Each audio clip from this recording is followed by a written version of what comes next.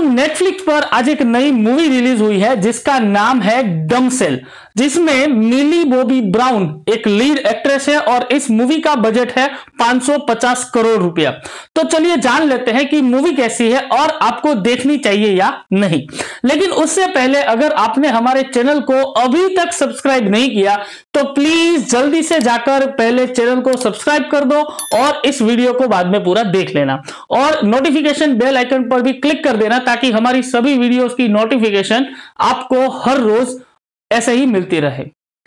तो चलिए शुरुआत करते हैं इस मूवी की कहानी के बारे में। ये एक फैंटेसी सर्वाइवल ड्रामा मूवी है, जिसमें कहानी है एलोडी यानी मिली बॉबी ब्राउन की, जो कि एक राजा की बेटी है, लेकिन वो राजा बहुत गरीब है। तभी एक दूसरे राज्य से एलोडी के लिए शादी का रिश्ता आता है, और जिसके बदले में राजा को बहुत पैसा मिलने वाला है। तो एलोडी अपनी ज़िम्मेदारी मान के शादी के लिए राज़ी हो जाती है और दूसरे राज्य में जाकर शादी भी कर लेती है। फिर उसके ससुराल वाले उसको एक केव, यानी एक गुफा में फेंक देते हैं, जहाँ पर एक ड्रैगन रहता है। अब एलोडी उस गुफा से वापस निकल पाएगी या नहीं? और वो ड्रैगन वहाँ पे क्यों रहता है? और एलोडी के ससुराल वालों ने एलोडी को ड्रैगन का शिकार क्यों बनाया? ये सब जानने के लिए आपको ये मूवी देखनी पड़ेगी। तो ये मूवी देखने के लिए आपको लगभग पौने दो घंटे ही देने पड़ेंगे, जिसमें आपको शुरुआत के 20 से 30 मिनट थोड़ा सा बोरिंग फील ज़रूर होगा, क्योंकि स्टोरी यहाँ पे बन रही है और बहुत सारे कैरेक्टर्स जो है उसका इंट्रोडक्शन भी होता है।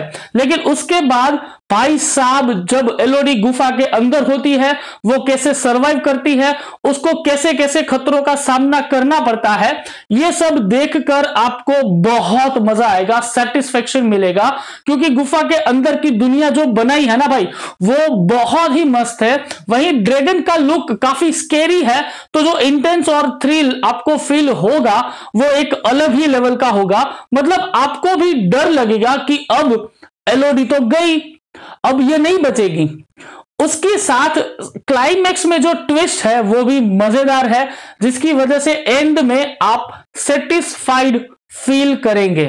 लेकिन वहीं एक कंप्लेन भी यह है कि लगभग आधी से ज़्यादा मूवी उस गुफा के अंदर है, जहाँ पर बहुत अंधेरा है और पूरी पूरी मूवी सिर्फ़ एलओडी यानी मिली ब्राउन के आसपास ही घूमती रहती है, जिसकी वजह से एक टाइम पर ऐसा लगने लगता है कि अब बस करो यार, अब ये और हो गया। बस यही एक कंप्लेन है। बाकी मूवी में सब कुछ सब कुछ बहुत बढ़िया है। Starting from acting VFX screenplay acting action background music सब कुछ सब कुछ बहुत ही बढ़िया था और एंड में आपको सेटिस्फेक्शन ज़रूर मिलेगा। तो ओवरऑल मुझे ये मूवी बहुत अच्छी लगी तो मैं इस मूवी को रेट करूँगा 3.5 आउट ऑफ़ 5 स्टार और मूवी में एक छोटा सा छोटा सा किसिंग सीन है, बाकी मूवी में कोई भी प्रॉब्लम नहीं है तो आप इस मूवी को पूरी फैमिली के साथ आराम से देख सकते हैं। ऑलराइट दोस्तों तो ये था हमारा आज का रिव्यू फ़िल्म डमसेल का। आपको ये मूवी कैसी लगी मुझे कमेंट करके ज़रूर बताइएगा, और चैनल को अभी तक सब्सक्राइब नहीं किया तो प्लीज़ सब्सक्राइब कर दो और बेल आइकन को ठोक दो। मिलते हैं अगली वीडियो में, तब तक के लिए गुड बाय